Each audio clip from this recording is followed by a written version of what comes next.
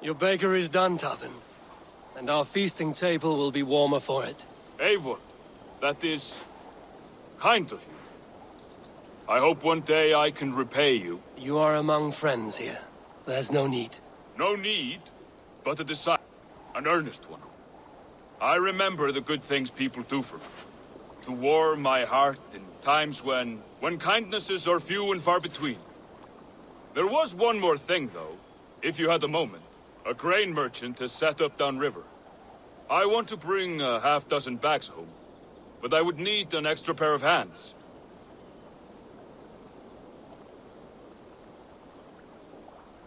I can lend a hand. That's a relief.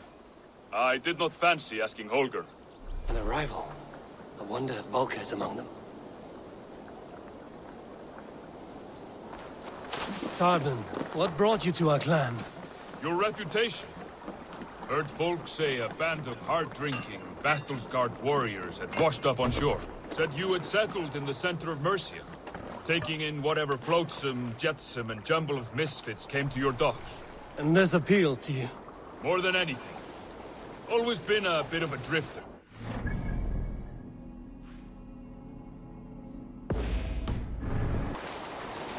I did not take you for a baker when we met. You have the look of someone who swings an axe.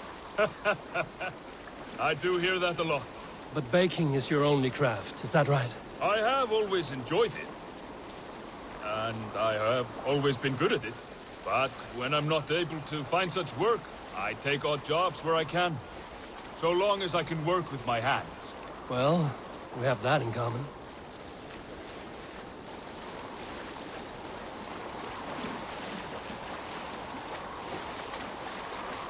A question, Eivor. You're a warrior, a fighter. That much I know. But if you could stop fighting, what would you do? You asked the wrong question. I can stop fighting, but to do so would be to deny the essence of who I am. I think you mean, if I had to stop fighting, what would I become? No, you've given me the answer I wanted. It's good you found what calls you. A rare and happy thing.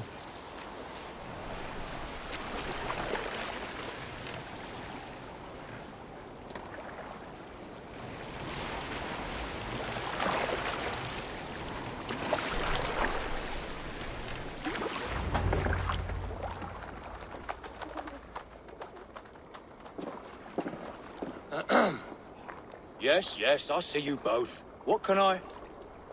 It's you. What, what are you doing in Mercia? Collecting grain. Thirty silver's worth if you can spare it. I do have the coin. Right. Well... Take what you need and get going. That should cover it. Thank you kindly. Of course.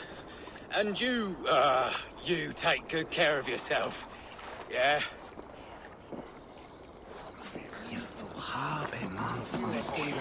make sure that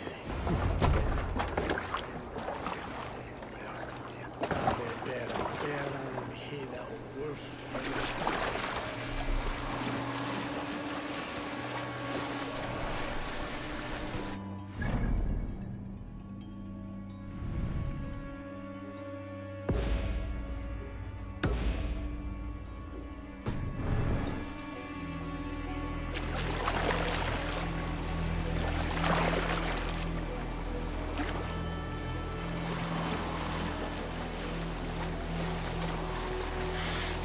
Is that your usual vendor?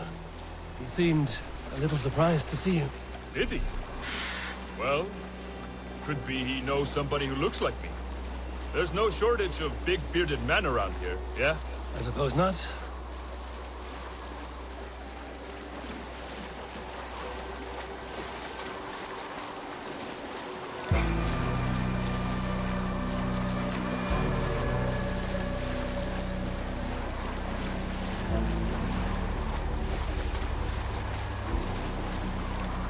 About your question earlier, what would I do if I weren't a warrior?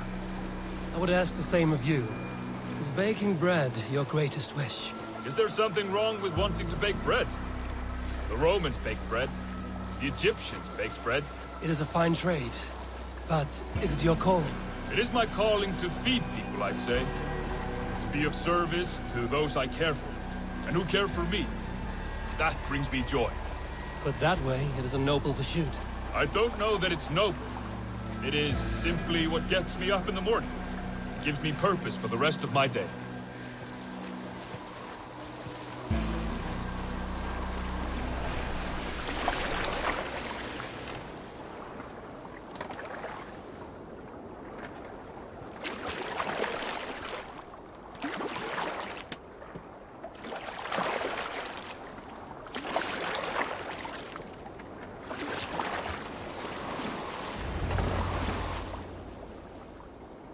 Need help with your grain? No need, no need. I'll do the rest myself. Bring it in and put it where I like. All right. It was good to speak with you, Tarben. A welcome diversion. You too, Eivor. Thank you for your help.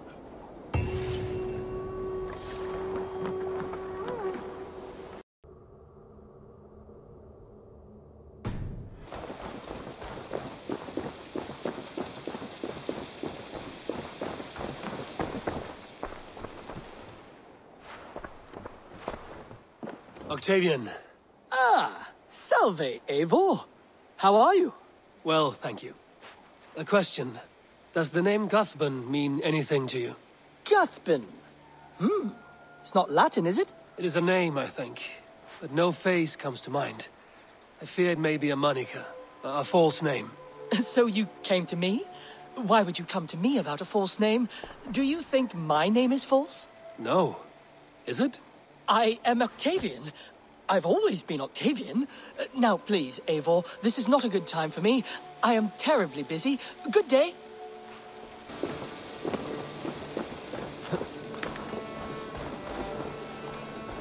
Rowan. Ah, Eivor. How's the day, my friend? I'm well, Rowan.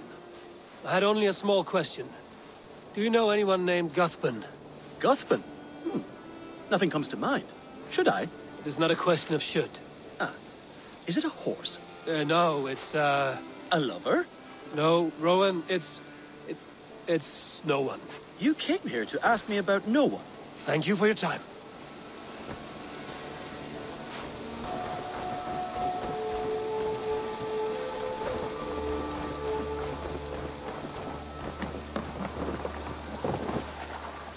Tarben, do you have a second? I was wondering if... I am Guthbun, Eivor. It means battlebone. Not the name of a cheery baker, is it? Not one who bakes bread, no. So, how did you earn this name? Before I came here, I lived another life. A brutal, bloody life. I served with a gang of mercenaries. I was their weapon, roaming the wilds of England. Did whatever they asked of me. And all they asked was violence. When I left, I laid this sword on the grass and made a vow. I swore never to spill another drop of blood. To abandon acts of violence. To never kill again. A hard promise for a hard man. It wasn't. Not for me. This life here is all I've ever wanted. I've never been more at peace. This is my doing. I brought all this upon. It is down to me to fix it. Tarben, by threatening you, they threaten my clan. I cannot allow that. These men are foul, Eivor. You should not have to fight my battles for me. Do you not hear me, Tarben? If they threaten you, they threaten me. So let us face them. Together. Very well. Meet me outside when you're ready. I believe I know where they will be.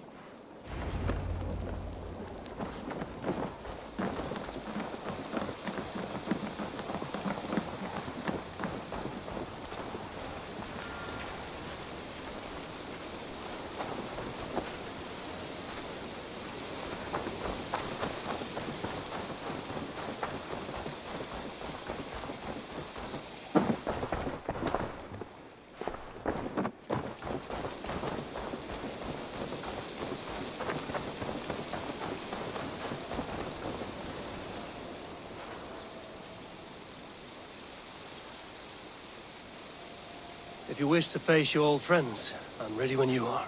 Good. I'll lead the way.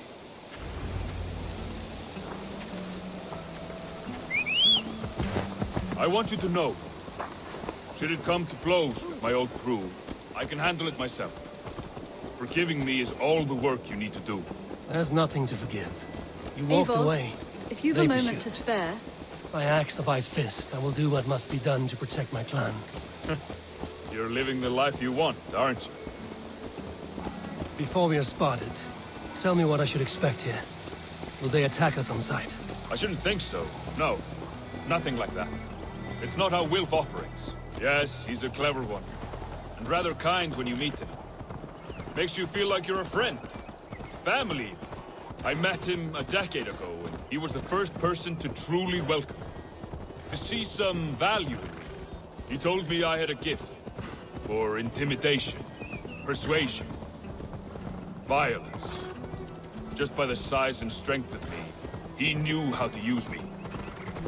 So what do they want from you now? They'll want me back.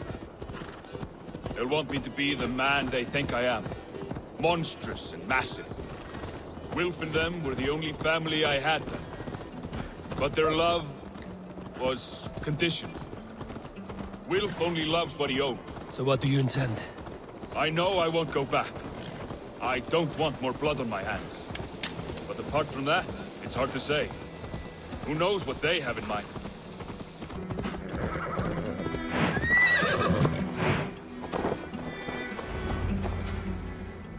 We're stopping.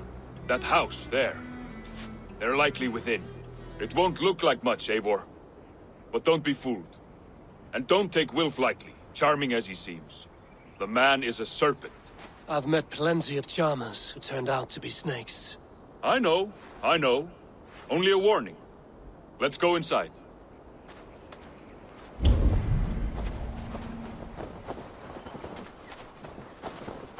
Freda! Faden är riksdag!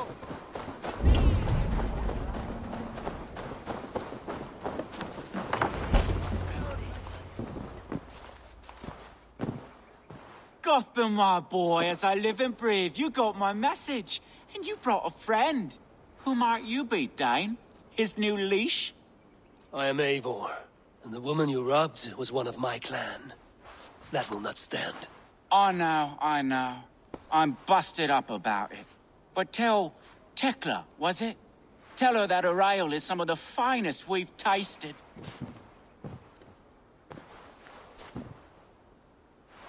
I am done with you, Wilf. But we are not done with you, boy. We gave you food, shelter, ale to drink, riches galore. We made you who you are. For all you did for him, he repaid you with blood and sweat. Did he not? You're a fiery one, I like that. But the ink was dried on this deal well before your number arrived in England. If you wish to clear Tarben's name, I'm happy to help with that. It's only a small matter of cost. Some weeks back, soldiers confiscated my personal wares, shall we say. Tried to confiscate me as well, but I gave them the slip. If you're keen, you could recover my belongings and return them to me. Do that, and your name is clear. I... I can't. I promised myself I would leave all this behind. But If it will clear Tarben's name, we will recover what is yours. Where are these soldiers? Camped not far to the west. A battalion of bloated, brainwashed military men. You can't miss it for the smell. wait here then. We will return before you sprout another pair of horns. God go with you, Eivor.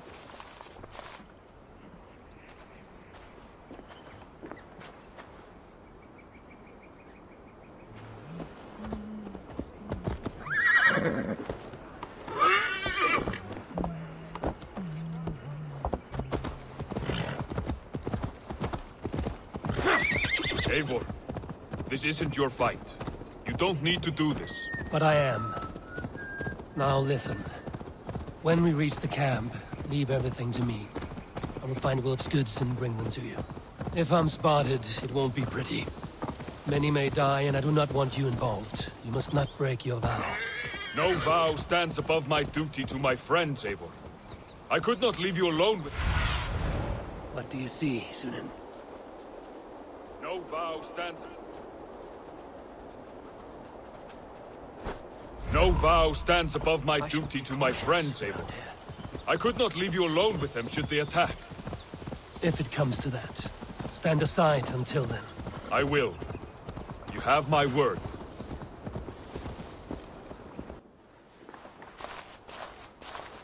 Oh, they have returned. We have your goods. Beautiful. Beautiful. Put them there. The ledger. Of course. Happy to honor it. My goodness, such a lack of trust these days. It's a dark age, no mistake. That's it then. We're done? Aye. You are free to walk from this place and live as Tarben the boring bread maker for the rest of your days.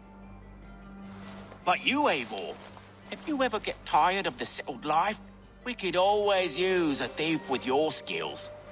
Think about it.